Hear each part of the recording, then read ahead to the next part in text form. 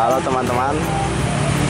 Sekarang saya akan berbagi pengalaman dengan teman-teman Proses pembuatan kolang kaling. Nah ini kolang kaling. Pertama kolang kaling itu berada di pohon nau atau pohon penghasil injuk. Nah ini pohon-pohonnya kemudian di sana ada buahnya.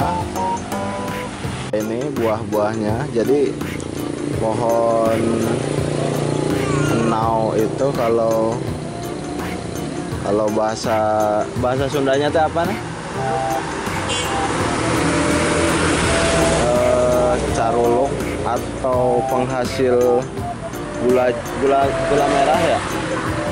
Gula aren. Oh iya pohon aren adalah buahnya. Jadi eh,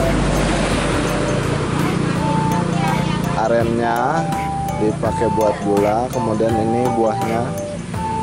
eh, kalau di sini itu bahasanya caruluk dibuat kolang kaling. Nah ini banyak sekali. Langkah selanjutnya adalah si buah aren tersebut atau caruluk tersebut direbus supaya mudah dikupas. Nah ini direbus sampai si kulitnya itu lunak supaya mudah dibuka. Selanjutnya ke proses pengupasan. Nah, ini dikupas sama Pak Haji. Nah, ini proses pengupasan kolang kaling. Satu biji it- itu biasanya ada dua atau tiga. Nah ini sudah jadi kolang kalingnya. Seperti ini teman-teman proses pembuatan kolang kaling. Nah, baru tahu kan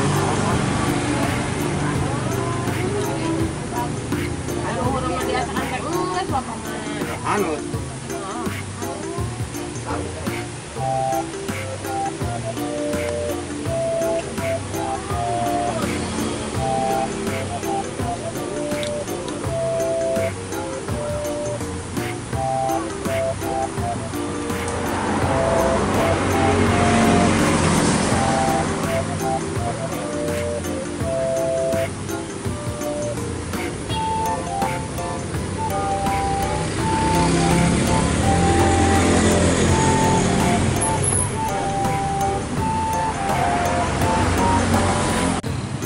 demikianlah proses pembuatan kolang kaling.